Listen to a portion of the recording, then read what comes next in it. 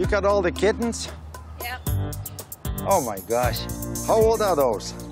Oh, they'll be six weeks Wednesday. Okay, I'll get the door, you get the cats. Like puppies, kittens need vaccinations to keep them healthy. Come on in. Let's look at mom. This is Carmelo. Carmela just showed up on our porch and we seen she was pregnant, so we took her in, gave her a home. Is she still nursing? Yep, a little bit.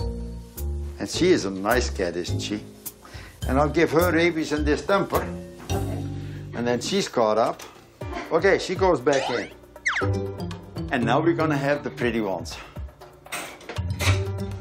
Hey, is it, look at this. Only one is a tortoise. Yeah, Yeah, I think it's four boys and one girl, so we'll see if I'm right. that's a male. So. Okay, this is already a male.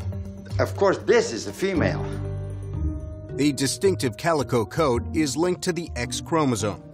Almost all calicos are female. In 50 years, I have not seen a male calico. Oh, the little tiny thing. You're right. I was. So, four shots. Come me the little one. Quit wagging your tail. Oh, look at that face. Yeah. Jeepers. Yeah, that's the worm pills. Uh, you gotta swallow that. Look at this, salivating like crazy. These worm pills don't taste good at all. Where do you think you're going? And if you don't get it down fast, they drool and drool and drool. Now say ah.